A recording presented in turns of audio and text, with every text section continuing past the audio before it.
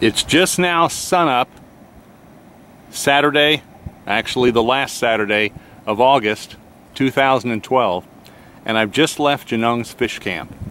And the roaring you hear in the background is the surf on the other side of Crescent Beach there. And I'm panning to the south. Course, we'll drop down and take a look at my magnificent Emmrods in the finest fishing kayak in the world, the W500. And this is what it looks like before I tear everything up and get a bunch of blood and guts all over the place. But I'm going to fish some of these grass beds and I'm going to head south to see if I can find some fish in my normal haunts. But uh, gosh, what a beautiful day. It's warm, but it's very, very comfortable. There's a light breeze blowing. You can tell from the chop on the water. There are fish surfacing everywhere. This should be a good one and we'll uh, have at it and see what happens.